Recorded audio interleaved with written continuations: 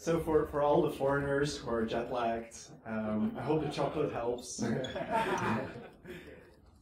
I want to talk to you about developer portals um, uh, because, uh, like, I, I, I put the, I, I started doing these slides because I'm trying to disprove my theory that um, our company, uh, Pronovix, is the only company in the world that is completely dedicated to developer portals. So if you know somebody else, like a company, it's not a freelancer or something, but if you know a company that's specialized only in developer portals, please come and talk to me about it because I want to know. Because as far as I know, we're the only ones. Um, and um, before I do my talks, I've got this thank you thing, this thank you ritual that I do. Um, because I can only be here because of my colleagues uh, who help us to, to, you know, do the business and make the money that helps me fly here. um, and uh, I want to do special thanks for Dora because she helped me to make these slides beautiful. I used to do them myself and they looked like crap, and now, now they're pretty. um, and I'd like to thank my family, um, but they're here in the audience today, so. um, and uh, yeah, so you, you'll, you'll, if you are interested, Freya has a really interesting talk about global warming together with me in the samurai track later today. Um, so, but what is a developer portal? Um, one of the most important things you should remember after this talk is that developer portals are more than reference docs. Reference docs like Swagger or OpenAPI spec um, if you only have that, that's not a developer portal. that's just reference docs. so that's if you remember that, we're good. Then then you you know you take away the most important message. Um, because developer portals should really be self-service uh, support hubs for your APIs, uh, or at least that's one of the functions that they can fulfill. Um, they can also be an interface for an API initiative. So if you're doing uh, a larger initiative to get people to start using APIs, uh, they can help you communicate about the different aspects of your API. Um, they're also kind of like a communication nexus, and that's a hard word, um, but like a place where all the different types of stakeholders come together um, to talk with each other. So a developer portal needs to serve not only the developers that will use your API, but also the people that will need to write about your API and the developers that are creating APIs. It's important to think about them, especially if you're working in a larger company. Um, and another really key thing is that developer portals are there um, as a trust signal because APIs are very um, they're very ephemeral. Um, they're they're just like code up in the air. And if, if anything changes at the company that owns an API, they might disappear overnight. So developers need to trust you. And um, there's only a few ways, well, there's several ways to gain trust uh, for your API, like having a, a, good API design is one way to get a, um, a trust for your API, but that's a little bit harder to see. One of the easiest way to get trust for your API is by having a good, well-designed developer portal because it shows that you care about your developers and um, it, it's, uh, it's very easy to give the signal about your API. So what kind of portals do you need to build? I think there's two large groups of portals. And funny enough, in our industry, most people are talking about this type of portal, self-service uh, support, uh, where either you have customers uh, like the API companies, the startups that's you know that are mostly sponsoring this event. Um, uh, well, they're not really startups anymore; they're more scale-ups, but um, but uh, they're they're outward facing.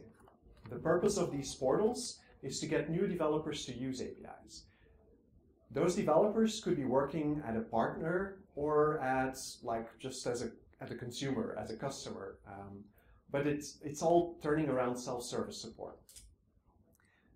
The other type of developer portals are there to accelerate innovation. And this is the type of developer portals that you don't hear too much about. I have a whole talk about this type of portals. Uh, I can't talk about it today because I have little time. but um, if you're interested, if you work at a large company and you need to uh, help developers be more productive, um, then you need to be looking at uh, innovation acceleration and platform like um, um, platform enablement uh, and things like that. And, and that's a whole other stream of, of uh, thinking and, and uh, information. And yeah, I've got more talks about this, but I'll, I'll, I'll um, explain later where you can find information about that. So, how, but first, um, how does a developer portal contribute to developer experience, DX? Uh, that's what it stands for. I think I like to think about developer experience as the inverse of API friction because it makes it very easy to think about it. Um, because developer experience is this, you know, what is it really? All right, uh, it's um, it's like UX. Uh, how how do you really define that? It's so many things that it's very hard to like contain it.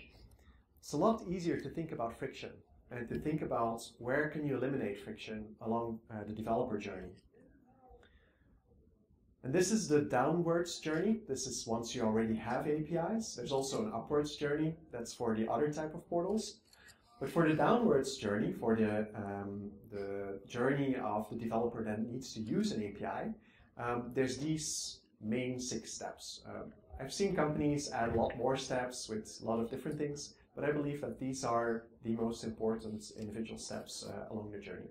So what you want to try to do is to look at friction in each of these steps and how you can remove it. Um, because ultimately, the usage of your API is going to depend on both the developer experience, so the friction that you remove, and the perceived API value. Let me explain that a little bit, because um, one of the mistakes, you know, remember that I told you that the developer portal should not only be about reference docs, uh, Swagger, it needs to be more than Swagger. One of the key things is that you need to explain people why is your API, what is it good for? What, how is it going to help uh, developers do their job? Um, what are its, its features? What are its benefits? And um, so what you want to do is to clearly communicate the perceived, like the value of your API. So that the perception of the value is going to go up. Um, because together with the developer experiences, uh, those are going to determine uh, how much API usage you're going to get. Um, if people think your API is crap, they won't use it. If your developer experience is crap, they won't use it either. So both have to go up. And both of these you can actually influence with your developer portal. Now, here comes the, the, the, meat of this talk. Um, it's a lot.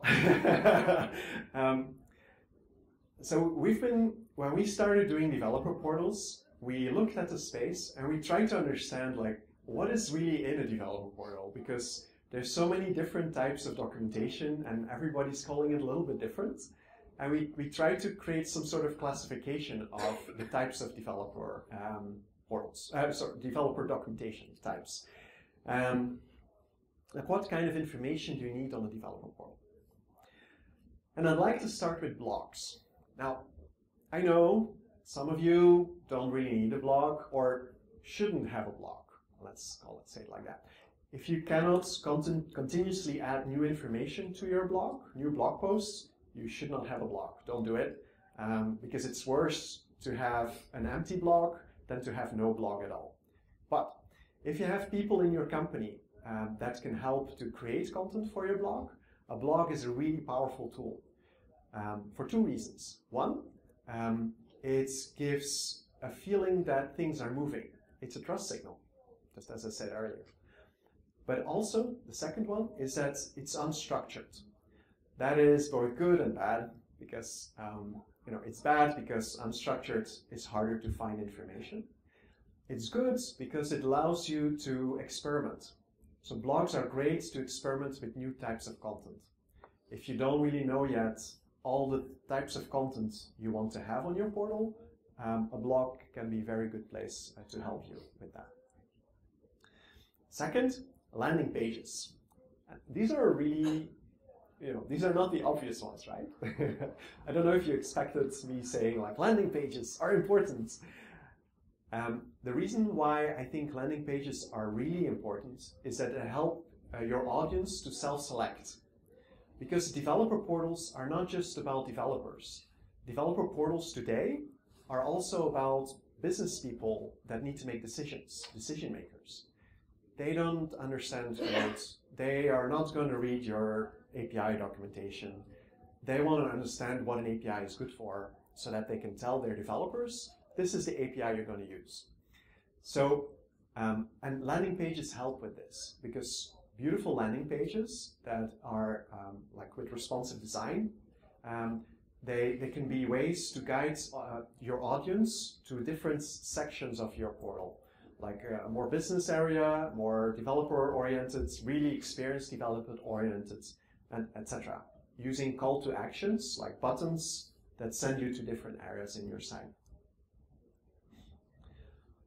Tutorials. Tutorials are super important um, because tutorials show you how to do something uh, to help uh, developers to get started.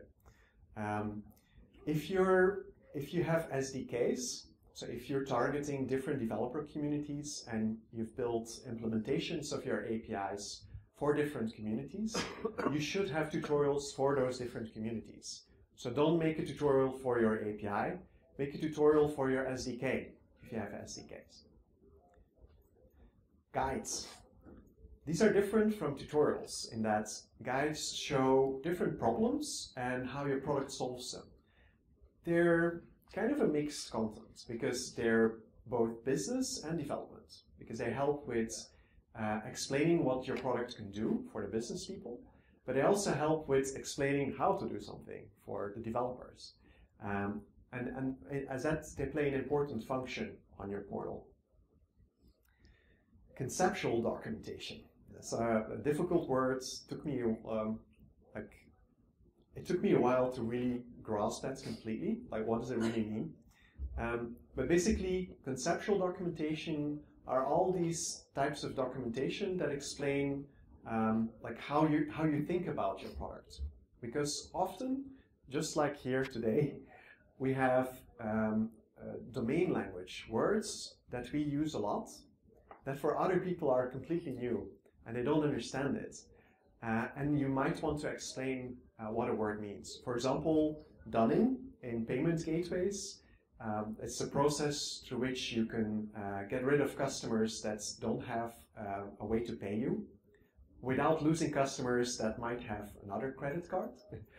um, dunning is something that if you haven't done payments integrations yet, is really difficult to understand. So you might want to explain what that word means. And probably there's other words like that in your business that people normally won't understand. So you need to explain those. Then there's the reference documentation. Now, I told you reference documentation does not equal dev portal, but reference documentation is very important.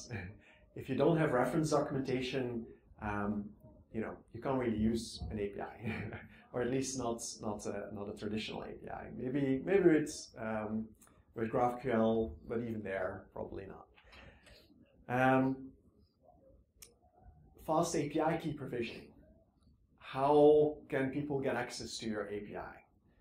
If they need to send you an email, wait for a month until you answer, then send another email with more details. Uh, it's a really bad experience. I've heard companies that have this kind of process inside. Like I've been at companies where it takes a week until you can start using an API, even for company for people that work inside of that company, which is crazy. Um, so fast API key provisioning is one of the most important things for a good developer experience. One of my pet peeves is remember trust, how developer portals need to help with getting trust. How do you communicate about your, your uh, policies? What are your contracts?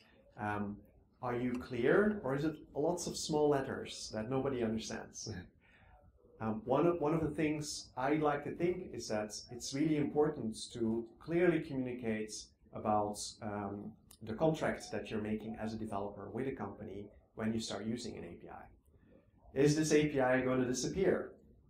Like, how long do, will I get from the day that you start deprecating and that you say, okay, we no longer support this API, how many months or years do I get to change to another API?